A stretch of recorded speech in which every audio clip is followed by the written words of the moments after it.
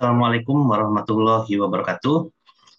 Baik, eh, teman-teman, untuk perkuliahan mata kuliah jaminan kualitas perangkat lunak eh, akan ada tugas kelompok. Ya, jadi ini adalah tugas kelompok yang teman-teman harus lakukan. Dan ini adalah penilaian sebagai tugas besar yang masuk ke dalam komponen tugas untuk mata kuliah JKPL ya atau jaminan kualitas perangkat lunak. Dan ini untuk semua kelas ya, kelas DSEA, DSEB dan DSEC. Baik, ya, di sini tugas kelompoknya adalah eh, teman-teman uh, pada saat uh, kerja praktek nanti akan menilai suatu kualitas perangkat lunak kerja praktek dengan standar McCalls quality ya. Uh, seperti apa standar McCalls itu bisa teman-teman lihat pada pertemuan kita sebelum UTS kemarin. Dan yang kita nilai itu hanyalah produk operation saja. Ya, produk operation itu ada lima, namun kita nilai hanya empat saja karena uh, dari presentasi KP yang nanti akan dipresentasikan itu hanya yang bisa dinilai secara langsung itu hanya empat itu saja, gitu ya. Nah, pengisian akan menggunakan form yang sudah uh, kami sediakan di sini.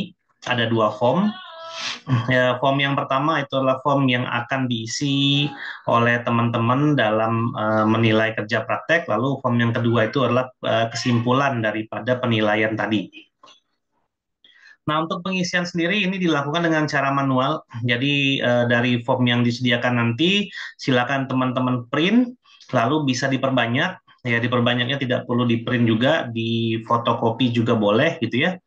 Dan teman-teman lakukan penilaian di atas form tersebut lalu e, menggunakan ballpoint ya. Karena untuk di setiap penilaian itu ada tanda tangannya yang bisa bisa teman-teman isi.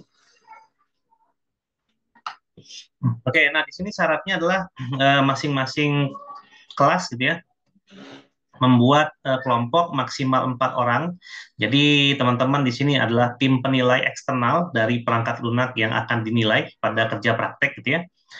Lalu dari empat orang tadi pilihlah satu orang sebagai ketua kelompok atau ketua penilai, di mana nanti akan ada tanda tangan dari ketua penilai ya di dalam laporan itu nanti di kesimpulan penilaian. Lalu eh, masing-masing anggota kelompok termasuk ketua juga, jadi berempat itu akan melakukan penilaian terhadap perangkat lunak yang dipresentasikan di kerja praktek. Ya, caranya adalah teman-teman menghadiri uh, presentasi kerja praktek nanti dan menyaksikan uh, review seminar itu uh, kurang lebih satu perangkat lunak itu satu jam, gitu ya. Dan teman-teman akan bisa menilai langsung perangkat lunak tersebut uh, tidak perlu bertanya dengan uh, tidak perlu bertanya pada teman yang lagi seminar KP ya. Jadi teman-teman di sini hanya sebagai penonton pasif dan langsung menilai berdasarkan form yang nanti akan teman-teman isikan untuk format formnya akan diberikan. Nah, satu kelompok uh, menilai tujuh perangkat lunak ya, jadi tidak boleh kurang, tidak boleh lebih, jadi tujuh. Jadi nanti misalnya uh, ada perangkat lunak yang teman-teman pilih, misalnya judulnya adalah kooperasi digital, maka empat orang itu nanti akan masuk sebagai penonton, akan menilai sebagai reviewer empat orang untuk kooperasi digital nanti. Uh, terakhir adalah uh, diberikan kesimpulan pada form yang berbeda gitu ya. Nah, untuk pengisian penilaian form nanti akan saya contohkan dan form akan saya bagikan uh, di grup WhatsApp-nya masing-masing. Nah, untuk pengumpulan, pengumpulan adalah laporan berupa laporan penilaian perangkat lunak gitu ya. Yaitu hasil daripada uh, penilaian dari teman-teman tadi untuk setiap perangkat lunaknya dan uh, kesimpulan di uh, form yang kedua gitu ya berisi kesimpulan tentang eh, kualitas perangkat lunak yang teman-teman ambil dari penilaian kelompok tadi. Artinya penilaian dari empat tim penilai. Jadi ada penilai satu, penilai dua, penilaian tiga, penilai empat, dan kesimpulan penilaian seperti apa. Nah, untuk laporan dikumpulkan tetap secara digital gitu ya. Jadi eh, pengisian manual, pengumpulan digital, jadi laporan dari teman-teman nantinya uh, silakan di scan ya. Lalu dijadikan satu sebagai laporan dan diberikan cover ya dengan format yang biasa teman-teman gunakan untuk pengumpulan laporan praktikum ya. Jadi di situ akan ada uh, judulnya. Judulnya adalah laporan penilaian perangkat lunak gitu ya. Sebagai uh, syarat tugas besar daripada uh, mata kuliah JKPL. Kemudian ada list nama kelompoknya 1 2 3 4, ada kelasnya, ada logo Unjani dan lain-lain ada footer di bawahnya ya. Seperti biasa teman-teman mengumpulkan uh, laporan praktikum. Nah, uh, linknya nanti akan diumumkan kemudian gitu ya. Uh, diumumkannya di grup WhatsApp dan maksimal pengumpulan laporan adalah hari Minggu 10 Desember 2023 jam 23.59. Jadi pembuatan tugas besar ini mulai akan dimulai saat kerja praktek, lalu eh, peramuan laporannya itu diberikan waktu sekitar satu minggu setelah kerja praktek eh, selesai dilaksanakan, ya. Baik, nah di sini eh, jadi ada dua form di situ ya ada penilaian software satu dan dua. Ini yang kedua ini adalah kesimpulan. Kita coba lihat yang ke satu dulu. Baik, ini adalah form penilaian di mana nanti masing-masing dari teman-teman itu akan menilai perangkat lunak, gitu ya.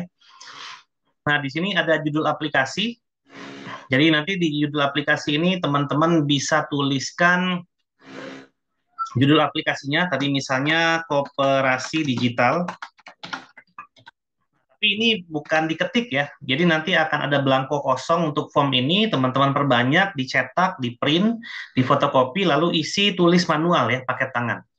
Pembuat aplikasi adalah eh, teman-teman uh, sekalian gitu ya. Jadi misalnya Asep uh, bukan pembuat aplikasi ini adalah pembuat dari aplikasi artinya yang presentasi kerja praktek nantinya. Misalnya Asep Saipudin dan eh Isyana misalnya. Nah, itu berdua kan kalau kerja praktek. Lalu penilai di sini adalah nama kalian gitu ya. Nama tim penilai atau nama si penilai. Misalnya NIM-nya eh, 341120 berapa gitu ya. Terus namanya adalah Agus gitu ya. Lalu dari kelas DSE A misalnya. Nah, ini bukan diketik ya, tapi nanti ditulis manual, ditulisnya secara manual di uh, kertas, gitu ya.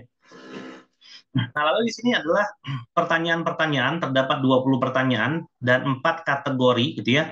Ada correctness, ada usability, dan ada integrity serta reliability. Untuk correctness sendiri ada 9 pertanyaan, usability ada 5, integrity tiga dan reliability juga ada tiga. Nah ini saya coba detailkan pertanyaannya ya. Untuk pertanyaan pertama, uh, pertanyaannya adalah fungsi perangkat lunak sesuai dengan fungsi yang didefinisikan oleh user.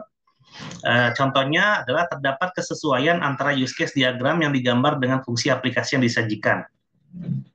Nah, misal uh, dalam perangkat lunak si koperasi digital itu ada fungsi untuk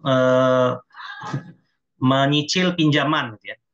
Kemudian ketika teman-teman menyaksikan perangkat lunak yang dipresentasikan saat KP, uh, eh, use case itu diimplementasikan secara fungsinya ada dan benar gitu ya. Maka nanti uh, itu masuk ke kategori correctness. Nah, cara menilainya gimana? Nanti cara penilainya di bawah ini. Nah, tabel penilaian. Misalnya menurut teman-teman tadi untuk pertanyaan yang pertama gitu ya, untuk operasi digital. Uh, apakah implementasi dari use case-nya sesuai atau tidak. Kalau misalnya sesuai, uh, bisa centang di sini, gitu ya, centang. Tapi nanti centangnya pakai ballpoint ya. Misalnya agak uh, kurang lebih oke okay lah gitu ya, mungkin bisa di sini.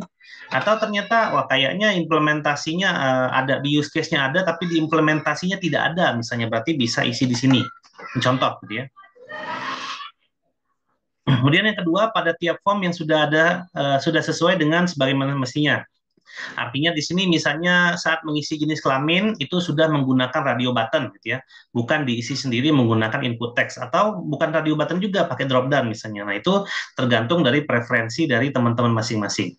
Nah, untuk pertanyaan kedua juga sama gitu ya. Misalnya dari correctness-nya dia pakai radio button dan sudah benar tuh laki-laki perempuan. Jadi teman-teman bisa setuju di sini atau sangat setuju gitu ya.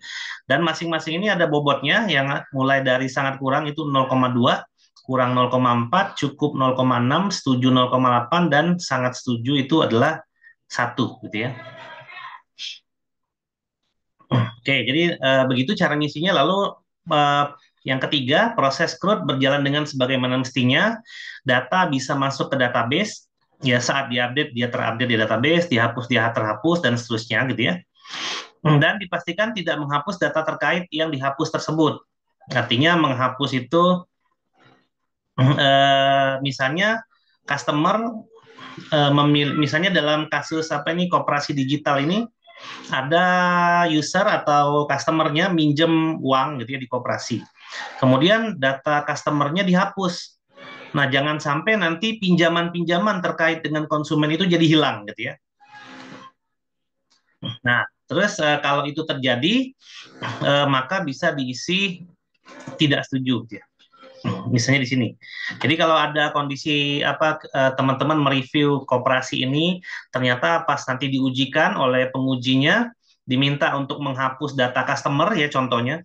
Nanti dilihat transaksi yang menghadap customer tadi seperti apa. Misalnya customer itu meminjam uang, baru mencicil tiga kali dari 10. Eh, pas data customernya dihapus, cicilannya jadi hilang gitu ya. Nah itu kan berarti tidak konsisten ya si datanya itu saat penghapusan. Nah kalau memang kejadiannya seperti itu, ya itu silakan isi sangat kurang di sini gitu ya. Untuk uh, correctness-nya. Itu contoh aja ya, dan ini berlaku untuk si aplikasinya, untuk tiap modulnya. Misalnya eh, dari lima modul ternyata hanya tiga modul yang seperti itu, sisanya benar. Eh, mungkin masih kurang ya kalau tiga, maka isinya di sini gitu ya. Jadi ini berlaku untuk perangkat lunak di setiap modulnya, bukan khusus di modul-modul tertentu aja ya, karena eh, modul tiap perangkat lunak yang akan disajikan nanti berbeda, jadi kita menilainya keseluruhan aja gitu ya. Oke, kalau yang keempat, transaksi berjalan dengan benar. Ya, misalnya tagihan sesuai dengan pesanan, berarti stok berkurang dan seterusnya gitu ya. Terus kalau ada penjadwalan, ada jadwal bentrok, rumus-rumus yang digunakan benar dan hasilnya eh, seperti bentuk laporan dan lain-lain dan untuk eh, laporan dan lain-lain. Nah, kalau ini ternyata dibuat dengan benar, maka bisa teman-teman isi di sini dicentang sangat setuju misalnya di sini gitu ya. Hmm. Lalu yang kelima, fungsi perangkat lunak dijalankan dengan minimal kesalahan. Artinya mungkin dalam satu perangkat lunak itu masih terdapat kesalahan yang diujikan nantinya. Kalau ternyata kesalahannya tidak terlalu banyak, maka faktor correctness ini dengan tepat bisa diterapkan di perangkat lunak tersebut ya. Tapi kalau misalnya banyak error kesalahan error, misalnya 404 untuk berbasis web error query dan lain-lainnya, maka bisa diisi di sini eh, sangat kurang. Misalnya kalau misalnya terdapat banyak error, tapi kalau errornya hanya sedikit, ya eh, bisa diisikan di sangat setuju ya, tergantung dari pertanyaan ini tadi ya. Uh, utamanya adalah fungsi perangkat lunak dapat dijalankan dengan minimal kesalahan.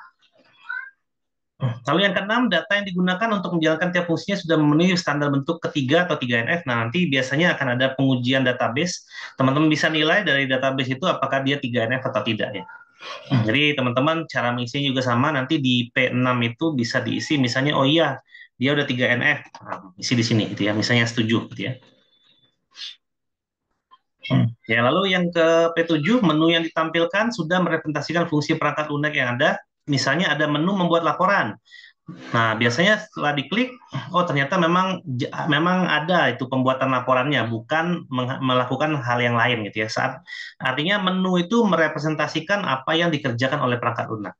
Kalau misalnya iya, maka bisa diisi di sini setuju gitu ya. Lalu yang kedelapan, tidak terjadi misleading information. Artinya di sini misalnya ada pegawai sudah cuti 12 hari, berarti uh, cuti tidak boleh lagi selama setahun gitu ya. Karena ada di undang-undang itu uh, cuti itu maksimal 12 hari. Jadi jangan sampai nanti ada pegawai yang sudah mengambil cuti, misalnya pegawai kooperasinya misalnya, uh, tapi ternyata dia masih bisa ngambil lagi, padahal dia udah 12. Atau misalnya cicilan pembayaran dari customer kooperasi ini tadi ternyata dia nyicil 12 kali Ya, harusnya 12 kali lunas dong. Dia tidak bisa tidak apa tidak bisa lagi di aplikasinya untuk menerima pembayaran cicilan eh ternyata aplikasinya masih bisa membayar cicilan ke 13, ke 14, ke 15 dan seterusnya. Padahal batasnya cuma uh, 12 kali misalnya. Berarti kan itu tidak tepat gitu ya. Jadi itu disebut sebagai misleading information. Nah, kalau misalnya terjadi hal yang seperti tadi gitu ya, yang harusnya cicilan itu hanya sampai 12, tapi customer itu bisa juga membayar 13, 14, 15, maka dia akan kurang sekali gitu ya. Lalu yang kesembilan, membuat aplikasi menggunakan teknologi yang tepat. Nah, artinya kalau misalnya dia menggunakan sistem dari luar, dia menggunakan uh, eh, SOA atau service, menggunakan JavaScript, menggunakan teknologi terbaru lah ya, tampilan UI-nya kekinian, gitu ya, uh, dan lain-lain. Nah, apabila itu sudah dengan benar diterapkan, maka kita bisa centang di sini sangat setuju, ya. Oke, lalu yang ke-10 untuk usability, jadi itu untuk yang correctness. Kemudian untuk usability, eh, navigasi suatu aplikasi sudah sesuai dan tidak menyesatkan. Artinya, eh, seperti yang sering saya contohkan gitu ya, dalam perkuliahan bahwa aplikasi yang sering kita gunakan setiap hari itu mungkin tidak semua menunya gitu ya, tapi adalah ada menu-menu terkait yang memang kita akan eksekusi tiap hari. Misalnya untuk masalah dosen itu adalah absen. Nah, karena absen adalah menu yang kita akan lakukan setiap hari gitu ya, maka biasanya menu itu ya tidak menjelimet navigasinya gitu ya, tidak uh, pilih ini dulu, pilih ini, pilih itu, maka masuk menu absen tidak gitu ya. Tapi menu absen itu akan ditampilkan di depan karena memang absen itu dilakukan berkali-kali ya. Artinya aplikasi itu untuk fungsi absen itu dilakukan dengan sering sekali. Nah, kalau misalnya itu udah sesuai gitu ya, artinya aplikasi absen pegawai, katakanlah absen pegawai di aplikasi apa yang tadi eh, koperasi digital tadi udah benar ya, maka dia kita bisa isikan usability-nya benar gitu ya. Jadi jangan sampai absen itu masuk menu ini, masuk menu ini, menu ini, menu ini banyak banget navigasi masuk menunya, baru di situ absen, nah itu berarti tidak tepat gitu ya. Kemudian untuk yang ke-10, tulisan, gambar, informasi, dan lain-lain itu terlihat jelas. Artinya saat di display, ya di nanti di kerja praktek itu grafiknya benar, bagus, ya tidak gambarnya tidak pecah, tidak blur, tulisannya jelas, tidak ada typo, dan lain-lain, maka usability-nya itu kita bisa isikan di sini, gitu ya. Ini tergantung preferensi kalian ya. Sangat setuju, setuju itu tergantung preferensi karena kita di sini uh, berlatih tugas untuk menjadi penilai eksternal gitu ya. Lalu untuk yang ke-12 secara umum pengoperasian mudah dilakukan dan tidak membingungkan. Jadi nanti ketika demo aplikasi teman-teman bisa lihat aplikasi itu membingungkan atau tidak gitu ya ketika itu dipakai dan ketika itu direview gitu ya. Nah, kalau misalnya ternyata navigasinya membingungkan atau penggunaannya secara umum membingungkan, maka bisa teman-teman isikan di daerah sini gitu ya. Terus yang ke-13, aplikasi dan dokumennya sudah sesuai, artinya kalau misalnya di dokumennya ada kelas karyawan, maka di implementasinya juga ada kelas karyawan gitu ya. Atau misalnya sebagian benar, sebagian tidak benar, arti misalnya tertuliskan di kelas diagram ada transaksi keuangan gitu ya, eh, ada laporan keuangan kelasnya, tapi ternyata di aplikasinya tidak ada kelas laporan keuangan, tapi aplikasinya bisa bikin laporan keuangan gitu ya untuk uh, kasus di apa koperasi digital ini ya maka bisa diisikan di sini gitu ya cukup gitu. jadi ini penilaian overall sekali lagi gitu ya bukan penilaian per modul jadi overall Lalu untuk 14, fungsi, uh, pertanyaan 14, fungsi dari setiap aksi atau tombol sudah jelas. Artinya tombol-tombol itu benar, namanya benar gitu ya. Lalu ketika dipencet itu tombolnya sesuai dengan ekspektasi. Misalnya ada tombol simpan. Oh, berarti tombol simpan itu artinya kalau ini saya klik maka data itu akan tersimpan ke database gitu ya. Nah, apabila itu sudah benar gitu ya secara keseluruhan, nah itu kalian bisa kasih penilaian di sini. Tapi kalau misalnya ada beberapa tombol mungkin selama penilaian itu yang agak kurang gitu ya, teman-teman bisa mengisi di cukup, kurang atau sangat kurang gitu ya. Oke, itu untuk usability. Kemudian untuk integrity, pertanyaan 15, ini adalah otorisasi dan autentikasi ya untuk user terkait fungsinya udah tepat atau belum. Misalnya biasanya yang akan mengasesmen daripada laporan itu adalah manajer gitu ya, bukan admin. Karena admin itu tidak ada uh, role-nya untuk mengaksesmen laporan. Nah, ketika otorisasi ini sudah benar gitu ya, maka bisa diisikan di sini gitu ya. Atau di sini ini secara keseluruhan ya. Misalnya tugas dosen ya. Dosen itu tugasnya adalah memasukkan materi lalu membuka kelas di aplikasi misalnya. Nah, tugas itu adalah tugasnya dosen, bukan tugasnya Pak Yayat atau tugasnya admin. Karena admin tidak memiliki kewenangan untuk itu, gitu ya. Atau uh, fungsi otorisasi yang lain. Misalnya yang bisa menerima ini kooperasi digital ya yang bisa mengapprove uh, pinjaman dari nasabah atau, customer adalah dibagi uh, adalah manajer bagian peminjaman misalnya. Nah, maka yang bisa mengapprove-nya adalah manajer bagian peminjaman, bukan admin atau role yang lain gitu ya. Jadi sesuai dengan role-nya. Itu adalah uh, integrity gitu ya. Nah, kalau sudah sesuai bisa diisikan di situ. Kemudian pertemuan 6 ah, pertemuan 16 lagi. Pertanyaan 16. Aplikasi yang dibuat mendapatkan jaminan terkait kekeliruan dalam penggunaan aplikasinya. Gitu ya. Misalnya di sini dosen memberikan nilai ke mahasiswa di semester 1. Maka dosen tersebut tidak dapat lagi mengedit nilainya apabila status nilai tersebut sudah final. Jadi ada jaminan kekeliruan ya dalam menggunakan aplikasi.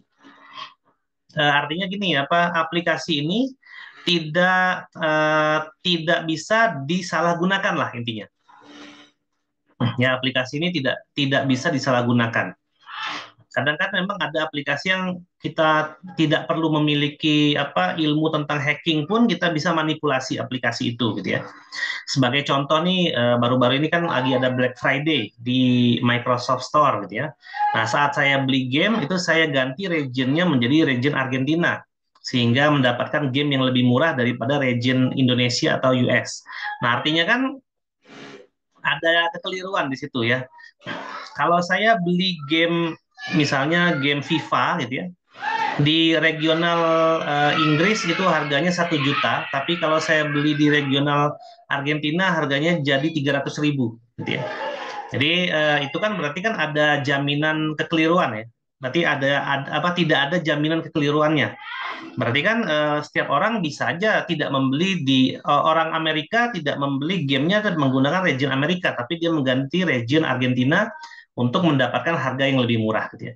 Nah, kalau misalnya aplikasi saat seminar KP itu uh, kurang lebih ya hasilnya seperti itu, maka bisa diisikan di sini seperti ini gitu ya. Nah, gitu ya. Karena ini masalah integrity ya, masalah authorization, security dan seterusnya. Lalu yang yang pertanyaan 17, proses login berjalan dengan benar. Misalnya passwordnya dienkripsi, misalnya pakai MD5 dan lain-lain gitu ya. Lalu kalau ada salah password, eh, ada pemberitahuan ya, terus ada fitur lupa password dan lain-lain lah gitu ya. Maka dia kita bisa isikan di sini kalau memang itu diimplementasikan dengan tepat gitu ya.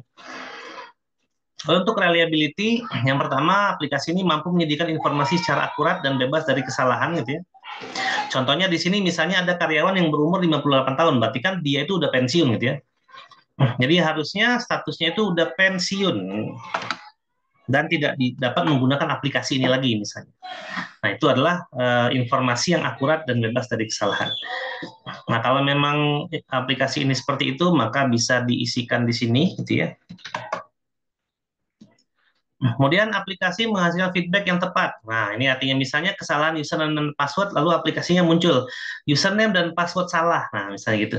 Atau misalnya uh, user udah memasukkan data yang dengan benar, lalu dia tekan tombol simpan atau submit. Lalu ada notifikasi bahwa uh, data berhasil tersimpan. Atau kalau misalnya datanya gagal disimpan, nanti akan ada notifikasi uh, data gagal tersimpan. Nah, apabila aplikasi secara keseluruhan udah apa ada feedback seperti itu, maka bisa diisi seperti di sini, gitu ya.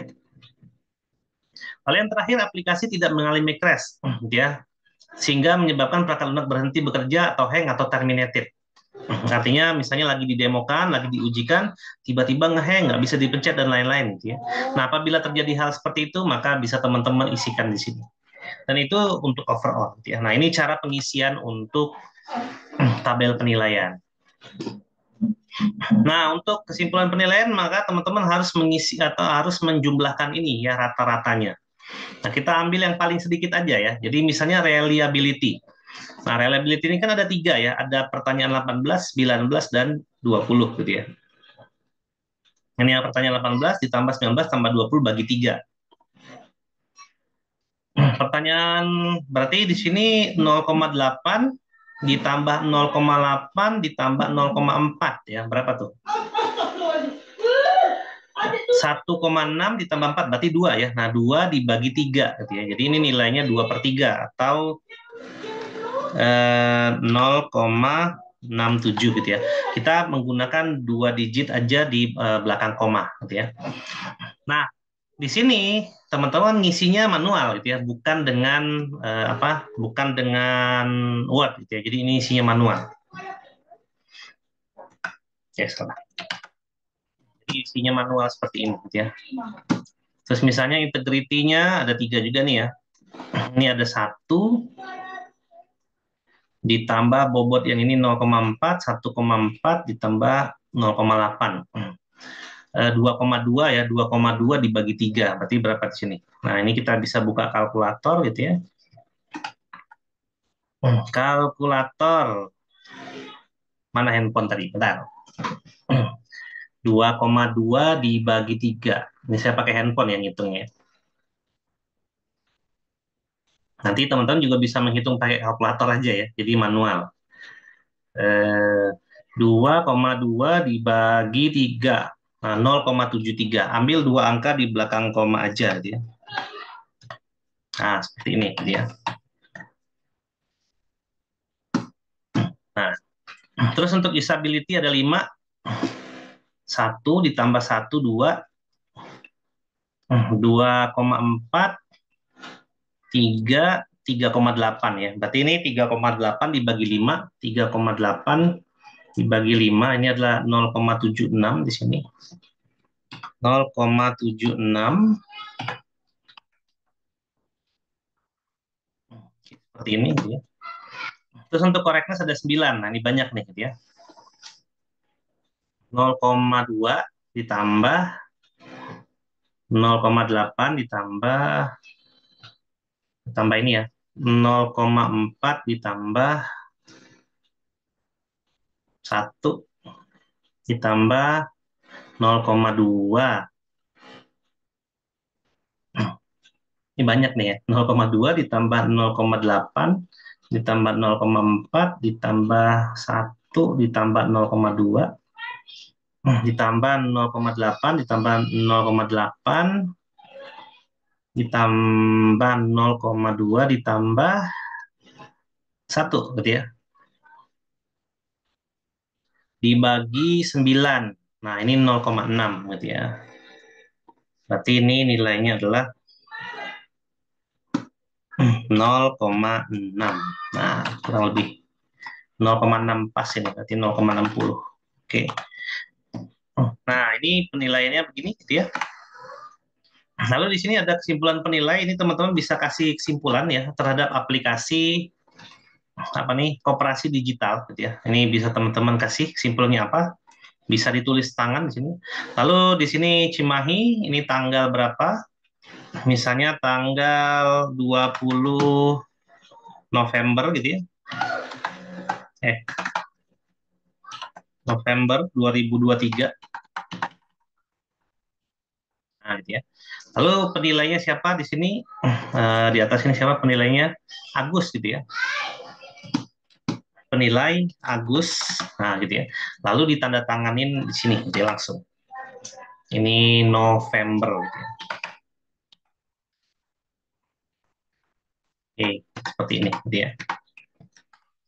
Nah, uh, nanti uh, anggota kelompok itu ada siapa aja? Nanti masing-masing uh, berempat itu akan menilai kooperasi digital, gitu ya. Nah, ini nanti uh, akan ada kesimpulan di belakangnya. Nah, ini misalnya udah empat orang nih, gitu ya. Jadi ini hasil dari uh, Agus, gitu ya. Ini saya close dulu. Jadi ini misalnya saya copy ya ini hasil dari Agus untuk kooperasi jadi ini kooperasi digital Agus misalnya gitu ya. Nanti di sini kooperasi digital siapa nih yang nilai gitu ya. Misalnya Rohim. Rohim. Nah, gitu ya. Kemudian koperasi digital siapa lagi nih? Usman misalnya. Usman gitu ya. Terus satu lagi koperasi digitalnya Ani, nah gitu ya. Jadi ada Ani, ada Agus, ada Ani, ada Rohim, dan ada Usman. Oke, ini untuk koperasi digital aja ya. Ini dari form yang pertama. Nah, lalu nanti akan dibuat kesimpulannya di form yang kedua di sini, gitu ya. Nah, ini form yang kedua isinya seperti ini. Nah, form kesimpulan. Di sini ada NIM nama ketua penilai. Jadi misalnya NIM-nya di sini adalah 34 berapa gitu ya. Tadi ketuanya Agus misalnya. Ini ini juga sama. Ini ditulis tangan gitu ya. Kemudian ini misalnya 34 berapa lah gitu ya. Itu tadi siapa? Ani. Ya. Kemudian di sini Rohim. Lalu di sini Usman gitu ya. Hmm, ini males ngetik. 34 sekian sekian sekian gitu ya. Kemudian ini juga 34 sekian sekian sekian. Oke. Dari DSEC misalnya. Misal aja ya. Nah, seperti ini. Nah, di sini nanti dinilai gitu ya. Perangkat lunak yang dinilai pertama tadi adalah kooperasi digital misalnya. Kooperasi digital. Nah, nanti teman-teman isikan di situ perangkat lunaknya. Ya, nanti penilaian dari penilai satu correctness berapa? Nah, tadi eh, penilai satu itu Agus ya. Nah, dari Agus tadi berapa nilainya? Hmm, Agus nih ya. 0, untuk correctness-nya dia 0,6. Nah, isi di sini gitu ya. 0,60 gitu ya. Usability-nya Agus tadi 0,76. Nah, 0,76 ya. Untuk integrity dari si Agus tadi mana si Agus? 0,73 0,73 lalu reliability-nya dari Agus tadi mana reliability-nya 0,67 gitu ya. Jadi di sini ada Agus 0,67. Eh, nah, di sini ya. 0,67. Oke, gitu ya. Nah, nanti dari ini dari tim penilai satu Agus ya, tim penilai dua Ani di sini. Nah, berapa masukin Ani di sini? Misalnya correctness-nya aja ya, 0,56 misalnya. Lalu tim penilai tiga di sini si Rohim. Rohim ternyata menilainya 0,81 gitu ya di correctness. Kemudian tim penilai 4 adalah Usman. Usman ternyata menilainya 0,72. Nah, gitu ya. Lalu isi uh, penilaiannya di sini. Ini karena sama-sama koperasi digital. Jadi ini diganti ya menjadi koperasi digital. Nah, ini koperasi digital ya. Lalu ini adalah si digital, tapi nanti uh, ngisinya pakai tulis tangan ya. Lalu berapa total penilaiannya? Nah, total penilaian correctness ini rata-rata gitu ya. Jadi 0, ini pakai kalkulator ya, 0,6 gitu ya di sini. 0,6 ditambah uh, correctness dari penilai 2 0 0,56 ditambah dari penilai 3 0,81 ditambah uh, penilaian 4 0,72. Ya. Ini 2,69 ya, tapi karena total rata-rata ya, berarti dibagi 4 ya. Dibagi 4. Nah, di sini dapatnya 0,67 gitu ya. Nah, nanti diisikan semua itu di usability dan seterusnya untuk operasi digital. Nah, lalu yang berikutnya adalah level kesimpulan penilaian. Nah, untuk mengisi level ini lihat di sini.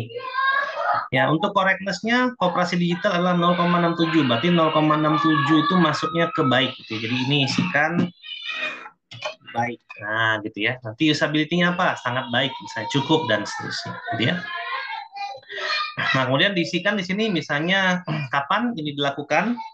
Biasanya pengumpulan itu karena pembuatan formnya tanggal 20 November, ini biasanya tanggal 5 Desember misalnya. Ya, kurang lebih lah ya. Oke. Nah, ketua penilainya siapa tadi? Agus itu ya. Nah, di sini tanda tangan Agus. Gitu ya. Nah, jadi ini adalah uh, hasil dari kesimpulan penilaian gitu ya.